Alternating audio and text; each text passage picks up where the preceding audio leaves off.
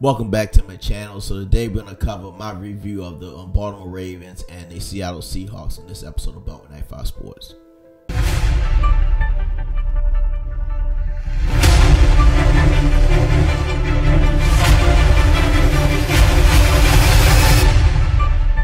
Well, welcome back, everybody. So, you know, I'm gonna jump right into it.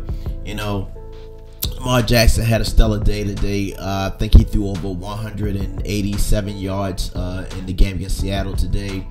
Um, uh, Gus Edwards, he two touchdowns. Uh, I think he had over five carries. I mean, you know, Gus just keeps getting better week in, week out. Last week he had three touchdowns, and I just see him progressing next week. Like I said, as long as he stay healthy, you know, we had no problems with Gus Edwards. You know, he he's a rock right now.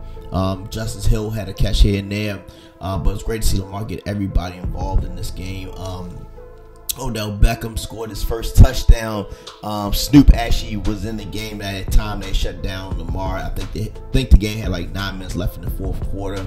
Um, they threw that one touchdown a pass in the back of the end zone for Odell Beckham's uh, first touchdown, which ended up being his birthday today. So it's great to see him do that dance. I think next time he's gonna do the uh, Park Heights struts. If you know you're from Baltimore, you know what that is.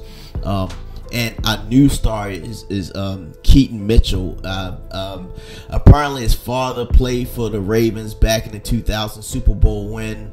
Um, he got, I think, an interception against Tennessee, and, and during that year. Um, but it's great to see this young man get involved. And you see the speed that he had when Lamar gave him the hand off the ball. He had that breakaway speed to score his first touchdown in the game. And then towards the end of the game, I think he had another a long run. He almost scored, but if he had cut back, he probably would have scored. He had over 138 yards yesterday. Um, like I said, this this team just clicking on all cylinders. Um, each week they just keep getting better and better and better. The team's now seven and two. Um, so it's just you know great to see this this offense taking flight like we always thought it would, but we didn't see the results. But now you're starting to see the, the process. You know, it's a slow process, but you see it starting to work right now. So um, hats off to the Ravens, 37 to three win over the Seattle Seahawks. So I'm gonna leave it at that. This is my channel, Beltway If I support sports and cause. I support children, adults, special needs, and autism. So if you like what I'm doing, consider like subscribe to the channel. Catch you guys in the next one. Thank you.